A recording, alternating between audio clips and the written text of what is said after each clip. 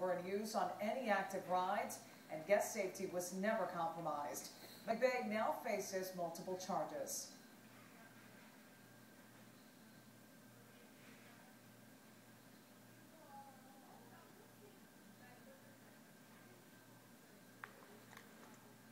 Let's talk Skype first. You know, when Apple announced their iPad 2 with both front and rear-facing cameras, they didn't have a deal with Skype to use their software. The